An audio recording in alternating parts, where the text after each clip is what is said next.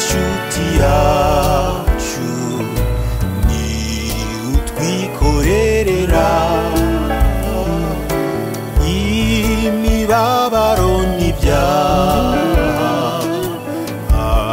akatwuzuza na sida yesu ashimwe abari mu rusengero ndabasuhuje hanyuma n'abazumva ijambo ry'imana kuri kwizera yesu tv mwese mwese ndabasuhuje mu izina rya yesu. Imana ibahe imigisha Ah, tugeze mu mwanya mwiza w'ijambo ry'imana. Ijambo rigiye kudufasha cyane cyane kuko nanjye mu kanya n'isoma ryafashije. Rwose. Reka nsabe eh, umukozi w'imana eh, madamu atambuke aze asome eh, aho tugiye kuvugaho umwanya.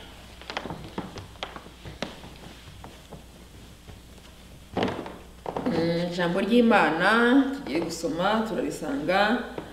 Abaroma igice cya munani umurongo umwe wa makumyabiri n'umunani. Reka tuhasome mu izina rya yesu. Haranditse ngo kandi tuzi yuko ku bakunda imana byose bifataniriza hamwe kubazanira ibyiza.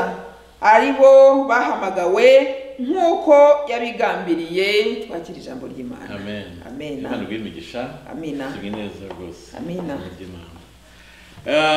yesu ashimwe tugiye kuvuga kuri iri jambo. Iri jambo rishobora kuba rizwi n'abantu benshi. Ariko imana irimpa mu kanya numvise inyesipira cyangwa se ishyiramo ko hari abantu rigiye gufasha.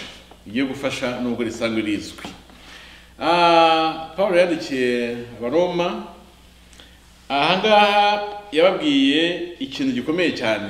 Ahantu hatangira eh, basomye ndashaka kuhavugaho mwumva ukuntu ashobora kuba ari hashyashya kuri benshi. Ngo kandi tuzi yuko ku bakunda imana byose bifataniriza hamwe kubazanira ibyiza. Aribo bahamagawe nk'uko yabigambiriye ku bakunda imana. Ngiye kuvuga ku kantu abantu benshi mushobora kuba mugiye kusanga yenda abantu batakitaho cyane. Pawulo yandika aya magambo yabanje kuvuga ngo kandi tuzi yuko. Tuzi yuko harimo inshinga kumenya. Tuzi. Eh, tuzi yuko.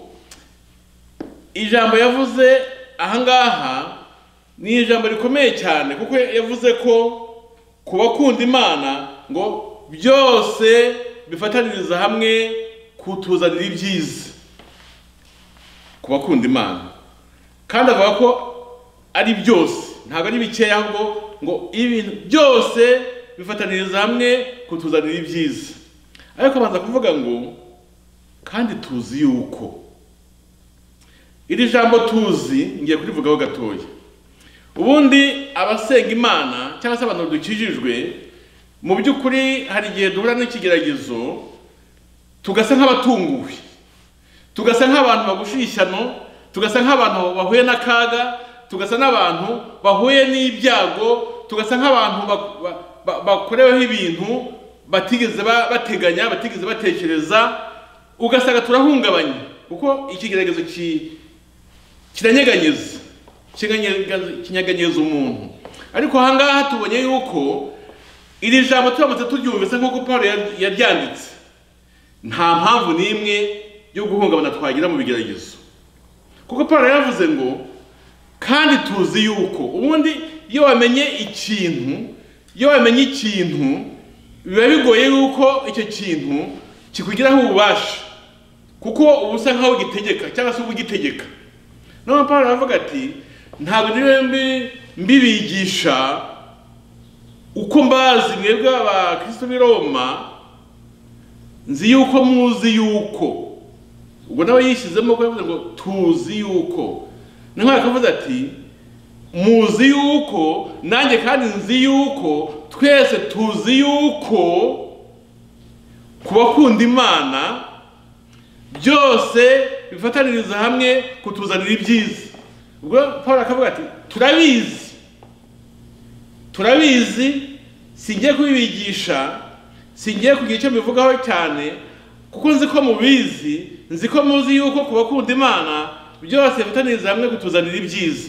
Pawulo avuga aya magambo yayavuze bitamugoye cyane kuko bumvaga ari kubwira abantu bazi abantu bafite icyo bamenye abantu bafite icyo bigishijwe abantu bafite icyo babwiwe n'imana abantu bafite icyo bicaranye. Ati tuzi yuko ku bakunda imana byose bifataniriza hamwe kutuzanira ibyiza. Ahangaha abaroma yandikiye nyuma y'usomye nyine amagambo akurikiraho yose usanga ko hariya i roma ni ho pawulo bamwiciye. Niho pawulo bamuciriye igihanga. Abantu yandikiye ni abantu baje kubona nyuma y'uko pawulo wabo eh, pawulo wabakunze nabo bakunze ba- ni abahamya y'uko pawulo yacyuye igihanga. Ariko yari yamaze kubigisha mbere y'uko ku bakunda imana byose bifataniriza hamwe kubazanira ibyiza. Ati kandi tuzi ibyo bintu. Turabizi. Ntabwo ari ibintu bi- bishyashya mu- muri mwebwe tuzi yuko namwe tuzi yuko ku bakunda imana byose bifataniriza hamwe kutuzanira ibyiza. Paul yabwiraga abantu yizeye ko bazi hari icyo bazi. Abakristo dukwiye kuba turi abantu bafite icyo tuzi. Twicaranye tugendana tubitse muri twebwe. Dukwiye kuba dufite amagambo y'imana twamenye aba muri twebwe tugendana tubana na yo. Kugira ngo nihagira ikintu kiba dusange dusanga tuzi yuko icyo kintu gishoboka ko cyaba. Abakristo bamwe bashobora kuba bahungabanywa n'ibigeragezo. Ibigeragezo si ikintu cyiza ntabwo ndi kuvuga ko ari ikintu cyiza ni ikintu cyiza ku muntu kikamuhungabanya kikamunyeganyeza ariko gisanze uzi neza ko icyo kintu ki- gishoboka ha- hari imbaraga hari ububasha bitakugi- bitakugiraho. Ha- hari imbaraga eh, gisanga ufite kubera ko wicaranye ubumenyi bw'uko ibyo bintu kuko bya- byashobokaga n'ubundi. Pawulo avuga yuko yizeye neza ko babizi. Ati ndabizi namwe nzi ko mubizi. Aha yabyanditse nk'udashidikanya yari azi neza ko abaroma bazi yuko ku bakunda imana byose bifataniriza hamwe kubazanira ibyiza. Ati "Bo tuzi yuko ibyo ngibyo bishoboka. Ubwo tugiye kureba ibyo pawulo avuga ko bazi ni ibiki pawulo yashaka kubabwira ko ibyo bazi ari uko byose bifataniriza hamwe kubazanira ibyiza abakunda imana nyine. Ahandi muri biriya bavuga abahamagawe cyangwa se abakijijwe. Nibo bitwa abakunda imana abakijijwe abakiriye se ubugingo bwabo. Nibo babwirwa aya magambo. Ntabwo ari ab'isi bari kubwirwa aya magambo. Ni ku bakunda imana ni ku bahamagawe ni ku bakiriye yesu mu bugingo ni ku bizeye yesu umwami n'umukiza. Paul aravuga ati mwese rero abamwemeye uwo mwami wacu tuzi yuko byose bifataniriza hamwe kutuzanira ibyiza. Ibyiza rero eh, byose tugiye kuvuga kuri byose. Byose ni iki? Byose ah, muri kiriya gihe eh, hariho itotezwa ry'intumwa muri kiriya gihe hari- ibibazo itorero ritangiye kuvuka ah, hari ibibazo byo kurenganywa kw'intumwa hari ibibazo byo kubabazwa hari ibibazo hari ibibazo bi- bi- bi- bitoroshye hari ibibazo byinshi. Kuko na Pawulo ubwo yaje kubigwamo nyine bamuciye igihanga. Hari ibibazo hari ampereneho uri gutwika abantu abakristo hari ibibazo ah, intumwa ziri gutotezwa hirya no hino. Hari ibibazo intumwa ziri kwirukankanwa zi- ziri guhunga bashaka kuzica. Hari ibibazo eh, mbese hari umuvurungano ku bakozi b'imana ku itorero rimaze kuvuka rya kirisito hari ibibazo ku bakozi b'imana hari ibibazo ku bantu bari kwakira yesu mu bugingo bwabo hari ibibazo ko barimo kwicwa bari gufungwa bari gukubitwa hari ibibazo. Paul arababwira ati mu gihe hariho kurenganywa mu gihe hariho gutotezwa mu gihe harimo kubabazwa mu gihe hariho n'ibindi byiza byose bifataniriza hamwe kutuzanira ibyiza. Uyu munsi hashobora kuba hari ubukwe abantu bishimye. Hakazaba n'undi undi munsi aho kugira ngo bashyingire aho bari gushyingura. Ariko byose rero ari ubukwe ari mu- gushyingura abantu bapfuye ari uwabonye akazi ari uwo biru- birukanye ku kazi ari uwabuze amafaranga yo kwishyura inzu bamusohoye mu nzu ari uyujuje eh, ari uwaguze imyenda n'undi udafite icyo yambara. Ari abashonje inzara yishe n'abandi barimo kubimena muri tarashe eh, byose bifatanyiriza hamwe kutuzanira ibyiza. Byose rero ni iki? Ni ukuvuga ngo ubuzima bwawe bwa buri munsi niba warakijijwe niba ukunda imana ibiza ku buzima bwawe byose bifatanyiriza hamwe kukuzanira ibyiza. Byose wavuga iki rero? Harimo ibyiza harimo n'ibibi. Ariko ubwo byose. Ubwo rero imana ubwayo niyo izi impamvu byose bifatanyiriza hamwe kutuzanira ibyiza. Ariko natwe tumenyaho agace ariko imana yo izi intandaro yabyo niyo biganisha.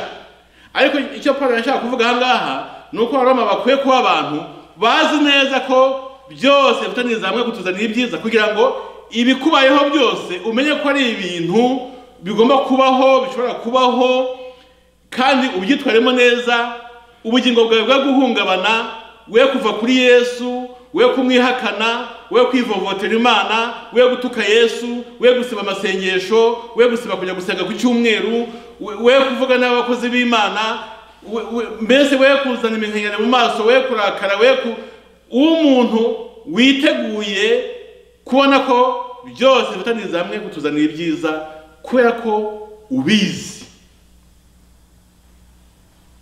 Kuko tuzi yuko byose bifataniriza hamwe kutuzanira ibyiza. Uyu munsi ndagira ngo nguhe uyu mukoro. Ukwiye kumenya. Mukristo ukwiye kumenya yuko byose ibikubaho bifataniriza hamwe kukuzanira ibyiza. Hazaza ibyiza wishime hazaza ibyo ubona ko ari bibi na byo uzashima imana ngo muri byose tujye dushima imana. Kubera ko byose bifataniriza hamwe kutuzanira ibyiza. Tugomba kumenya ko ibyo byose ari byiza kuri twe nubwo utasobanukirwa pawulo yandika aya magambo yafashe abaroma nk'aho bazi kimwe nawe bazi ko byose bifataniriza hamwe kubazanira ibyiza. Niyo kubabwira ati ndabona nta kibazo muzagira kuko muzi yuko murabizi. Ntabwo muzatungurwa muzi neza ko byose bifataniriza hamwe kubazanira ibyiza. Ubwo rero pawulo muri aya magambo ndabona harimo ikintu cy'uko yari yishimiye ko ari kuvugana n'abantu bazi bamaze kumenya. Sinzi impamvu yabivuze bishobora kuba byatewe n'uko wenda abaroma bari abahamya yuko hari intumwa za yesu zagiye zirengana kandi ziga- zigakomeza gukizwa. Zigakomeza umurimo w'imana. Zigakomeza guhamya yesu.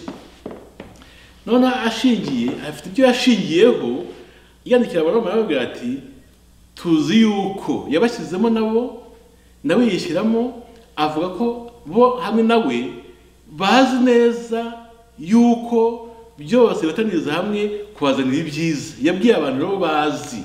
Uyu munsi ndagira ngo mbahe umukoro umeze gutya. Ndagira ngo mwene data we wakijijwe we mukozi w'imana wowe uzi imana uyu munsi umenye yuko byose bifataniriza hamwe kutuzanira ibyiza. Umenye. Eh, nk'uko ah, abaroma bari bazi neza icyo paul yanditse bari bazi yuko ku bakunda imana byose bifataniriza hamwe kubazanira ibyiza ibi ngibi rero dusomye aha ngaha by'uko paul yavuze ati tuzi yuko ndagira ngo bibe ibyawe mwene data bibe ibyanjye ko dukwiye kumenya kumenya kumenya kumenya yuko ku bakunda imana. Byose byose byose. Bifataniriza hamwe. Kutuzanira ibyiza. Hari ibyiza bizakubaho uzashima imana ibibi bishobora kukubaho uzagushima imana imana izi impamvu ariko nawe umenye yuko ibyo byose bifataniriza hamwe kutuzanira ibyiza. Rero muri byose gushima imana cyane cyane ko ubimenye ko ibyo byose nyine bifataniriza hamwe kutuzanira ibyiza. Umenye nanjye menye guhera uyu munsi tumenye tubeho mu buzima bwo kumenya kugira ngo dutungurwa n'ibitubayeho. Ahubwo tujye tumenya yuko ibi ngibi byan- byanditswe kandi tubigenderemo umunsi ku wundi. Dusenge imana. Mwami yesu tugushimiye ijambo ryawe. Tugushimiye yuko waryandikishije pawulo akabisobanura neza ndetse akanezerwa no kubwira abaroma yuko bazi. Yabashyizemo nawe yishyiramo aravuga ati kandi tuzi yuko ku bakunda imana byose bafatanyiriza hamwe kutuzanira ibyiza. Iyi si ntabwo ari isi eh, y'ibyiza gusa ahubwo iyi si ni imvange. Ndasabye kugira ngo abumvira ijambo n'abazaryumva bajye babasha kwihangana muri byose kuko byose bifatanyiriza hamwe kutuzanira ibyiza byamaze mu izina rya yesu. Amen. yesu ni we shuti yacu ni utwikorerera. Imibabaro n'ibyaha akatwuzuza na sida